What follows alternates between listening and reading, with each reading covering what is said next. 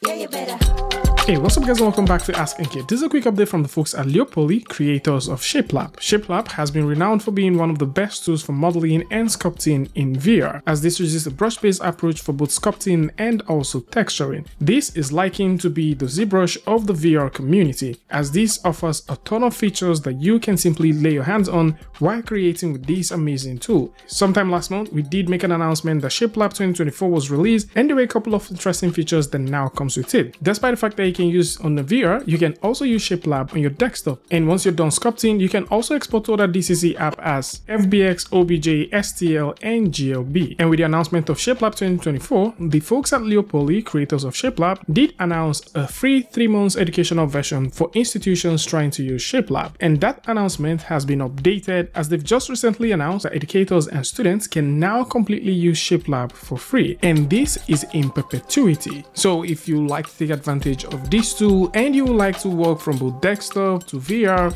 probably like to do some sculpting, some multi-res sculpting in VR, you want to work with some dynamic topology, do some meshing, do some PBR texture painting inside of that, all educational institutions can now request free access to ShapeLab 2024 and you can simply apply today and get started.